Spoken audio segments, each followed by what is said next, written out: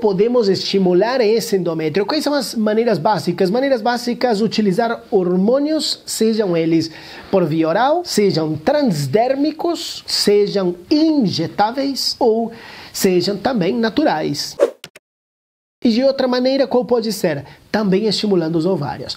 Então, qualquer maneira que eu faça com que os níveis hormonais de estradiol aumentem, seja até esperando o teu ciclo natural, isso já pode, já é um possível protocolo para estimulação do teu endométrio. O mais importante é saber em qual momento aconteceria a ovulação porque se deixamos que a ovulação aconteça, ela vai mudar nossa janela de implantação, que é outra, de, outra coisa que nós vamos falar um pouquinho mais para frente. Mas o mais importante é estimular ele, ele, ele, ele, estimulamos, estimulamos, estimulamos, até o momento que aconteça a ovulação. Essa ovulação pode ser eh, natural ou pode ser artificial, ou seja, a gente gerar essa ovulação. Mas não consigo estimular o endométrio depois de que a ovulação aconteceu. Então, sempre podemos estimular, podemos esperar mais cinco dias.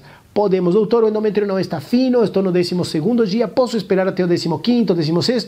Sim, enquanto os folículos estiverem pequenos, não houver nenhum folículo que esteja rompendo, você vai poder continuar estimulando. Que outras maneiras, então?